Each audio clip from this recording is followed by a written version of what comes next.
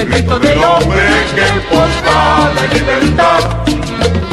Y van gritando con hambre, con justicia, la igualdad. Toda esa gente que sufre ya no puede soportar. Pues ha llegado el momento de gritar nuestra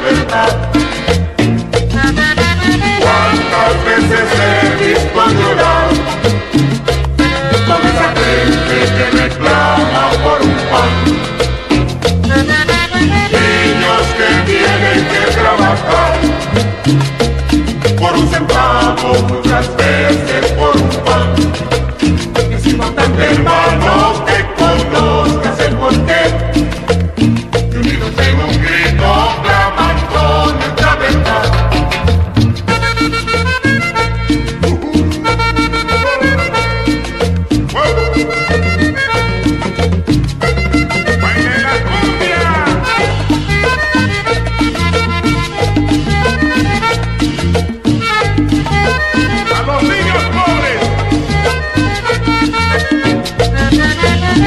cuántas veces he visto llorar por esa gente que reclama por un pan.